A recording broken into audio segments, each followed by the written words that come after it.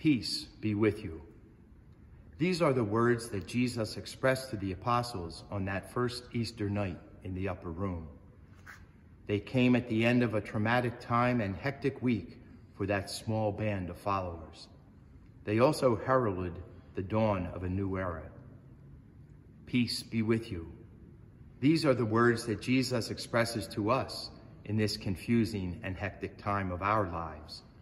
And like so many years ago, they also carry with them the promise of a new era. Peace be with you are the words and the prayers that we need to offer to each other. They are the words and the hope which will get us through these scary, confusing, and unique days. When we hear the doom and the gloom of the false prophets, we have the promise of Jesus that the gift of Jesus, peace, will be our own. I have had people ask me, and I have even thought it myself, are we canceling Easter?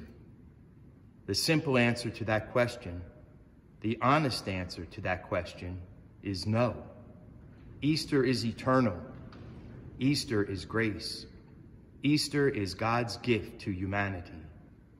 As Pope Francis reminds us, we are an Easter people, a people of the resurrection.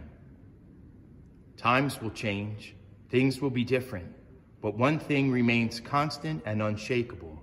Jesus is risen Lord, and that is the promise and the hope that will sustain us as we move forward.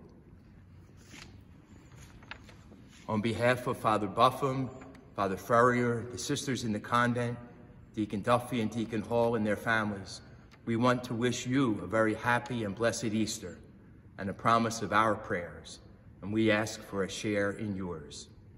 Happy Easter. Jesus is risen. Alleluia.